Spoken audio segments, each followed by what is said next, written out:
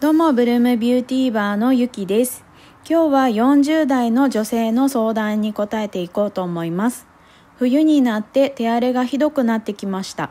美容師の人はシャンプーや薬剤などで手荒れがしやすいと思いますが、どういった対策をしているのか教えてください。とのことですね。私自身はね割と手荒れがひどい方ではないのですがやっぱり周りには痛々しいぐらいに荒れてしまってね病院に通っている人もいました。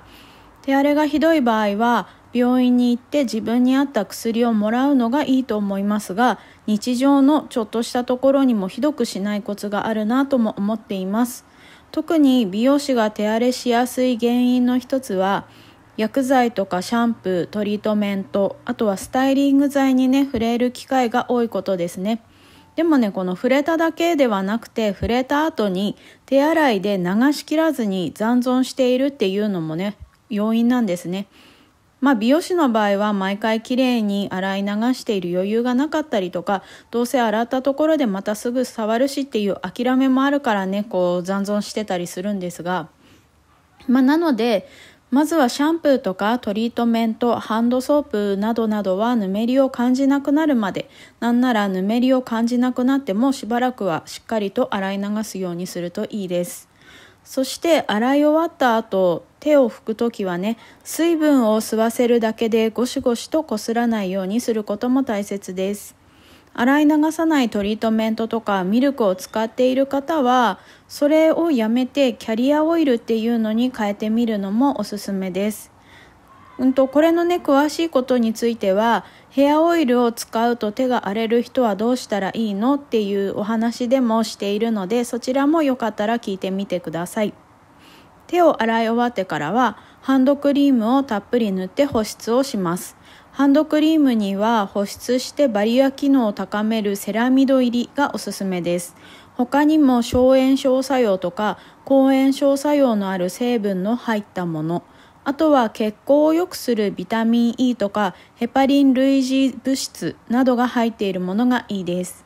化粧品として売られているものではなくってこういった成分が効果として認められている医薬部外品とか医薬品を選ぶといいですよね。ドラッグストアでどれに分類されているのか見てみてください。医薬部外品の効果として認められている成分には有効成分と記載されていますからそちらも要チェックです。あとはお湯に触れる機会が多いのも荒れてしまう原因ですね。どうしてもお客様にシャンプーする時の温度ってねちょっと高めなので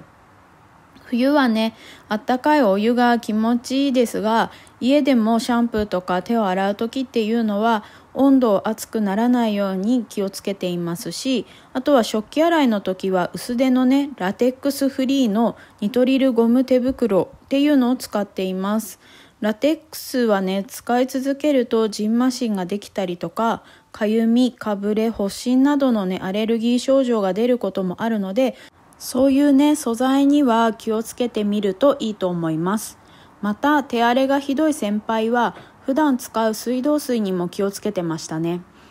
水道水に入っている残留塩素で荒れてしまうのでシャワーやシンクなどでは浄水器を通した水を使っていましたし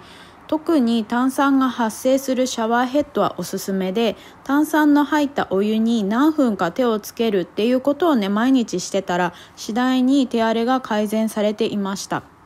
それとこれは誰にでも当てはまるわけでもないし特にアトピーの人にはおすすめはしないんですが私は着物に触れることも多くてハンドメイドアクセサリーも作っているので生地やパーツを劣化させたくないために仕事中にね保湿クリームは一切つけなくなりました。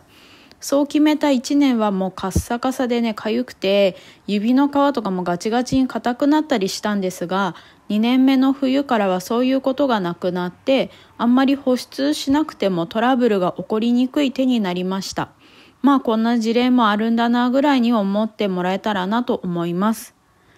小さいことなんですが日常で気をつけられることってねたくさんあるので参考になったら嬉しいです。それではブルームビューティーバーのゆきでした。